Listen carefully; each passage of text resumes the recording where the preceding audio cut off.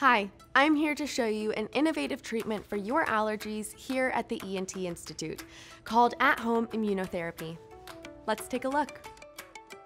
Most treatments for allergies typically just mask the symptoms. With our unique approach, we can now offer a long term path to relief.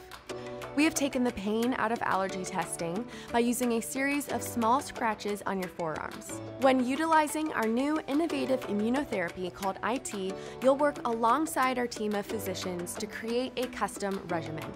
The IT allows us to introduce small and controlled doses of the allergen to your body.